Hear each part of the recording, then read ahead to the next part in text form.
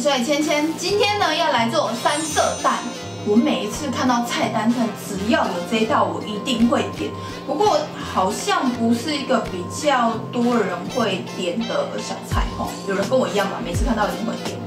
那因为我看食谱好像蛮简单的，就是一个我好像做出来的东西，所以呢，我们今天就要来做它。Go！比例是十颗蛋，四颗的生鸭蛋跟四颗的皮蛋。呃，这里少一颗，因为被我拿去泡泡面煮掉。那首先呢，我们先把皮蛋就是蒸熟，因为蒸熟之后呢，你在切的时候，它的那个蛋黄会比较比较好切。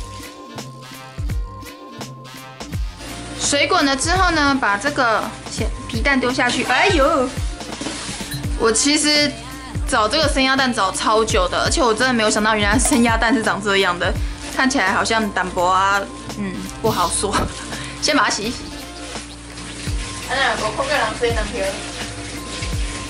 有没有觉得脱胎换骨？接下来呢，先把火关起来。接下来呢，把蛋黄跟蛋白分开。接下来是生鸭蛋的，它里面的蛋黄是一整颗，哎，很像一个颗粒状的。然后这个呢，剩下的那个生鸭蛋的蛋白，你可以加到这个蛋黄里面。然后因为我怕太咸，所以呢，我打算之后煮东西的时候再把它沿用。先放旁边。切皮蛋的，生鸭蛋黄。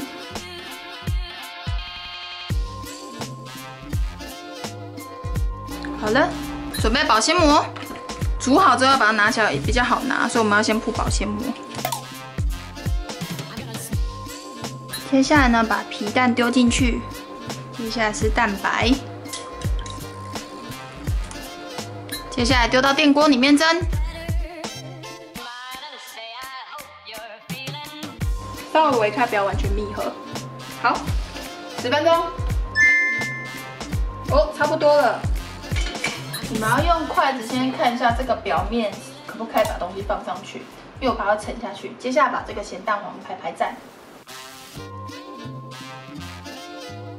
蛋黄丢进去，记得小心倒，不要让它遗漏。好，继续加热。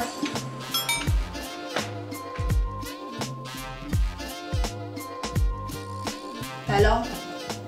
哒啦哒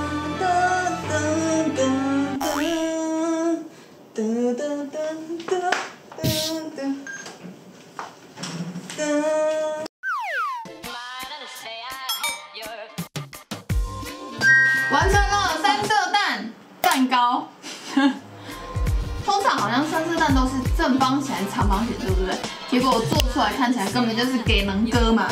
然后呢，我们要来切它了，用切蛋糕的方式切它好了。告诉你，这是我专业。不过三色蛋也不要吃太多啊，虽然我个人很喜欢。我今天煮的量就比较少一点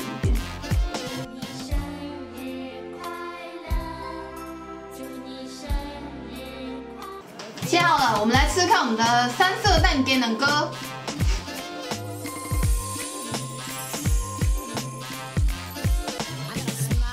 有没有很漂亮？然后这个是咸蛋黄，哦哦哦，它就是气死蛋糕啊！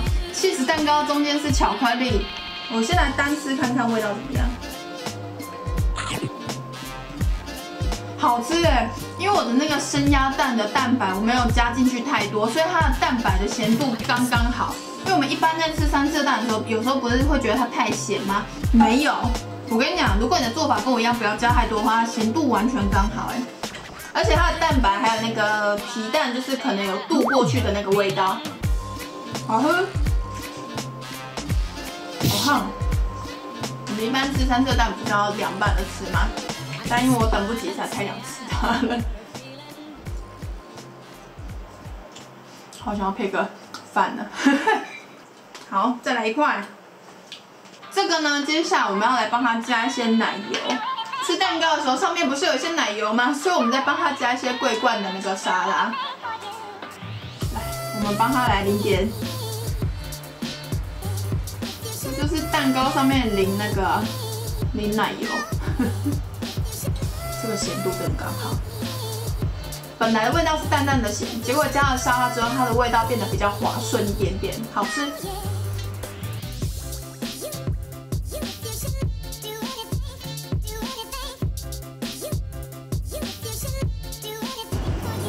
哦，再加上美奶滋的味道，香甜啊香甜。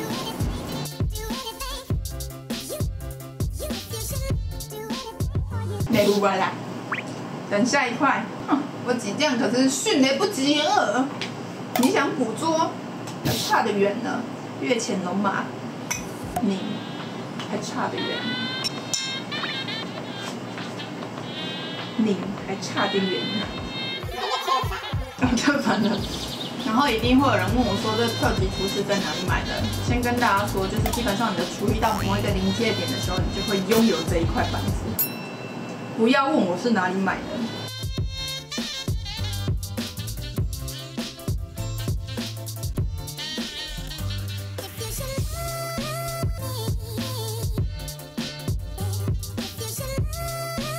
祝你生日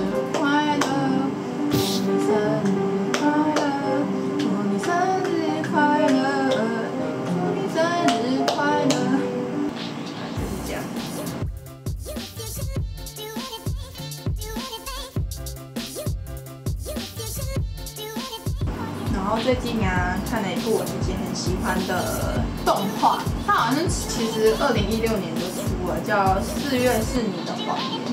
我觉得真的非常好看。我个人其实很不喜欢这种有点难过的剧情，因为太好看了，所以我就不喜欢从头看到我就哭得跟智障一样。强烈推推荐大家，如果有兴趣的话可以去看看。刚刚好吃掉一半。不是说很像那种 cheese cake 吗？所以我觉得它现在看起来比较像是芒果起司蛋糕，这上面那一层是芒果。刚好最近的季节是芒果。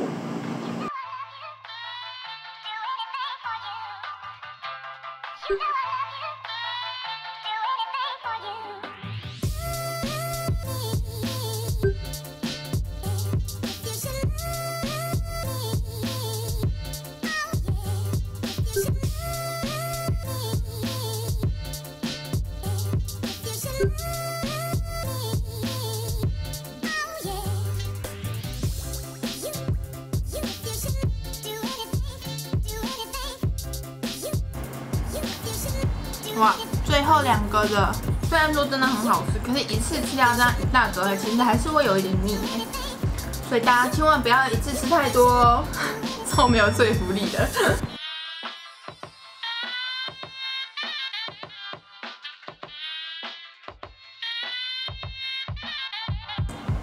最后一个了，吃完了，今天的三色蛋蛋糕。硬要叫它蛋糕，其实我觉得做起来蛮有趣的，而且很简单，大家有机会可以试试看。然后我终于理解为什么一份三十块的三色蛋量会这么少了，除了就是它要一直切很麻烦之外呢，就是嗯它的量不多，但很容易腻。所以其实我刚刚在吃到一半的时候就觉得有一点点腻了，所以大家记得就是不要吃太多啊。那今天的影片就到这，非常感谢大家看我的影片，就先这样子喽，拜拜。最近刚做完体检哦，就体检最大的差别就是我的体重明年增高啊。虽然说你们都看不出我变胖，因为我没站起来，你们就看不到了。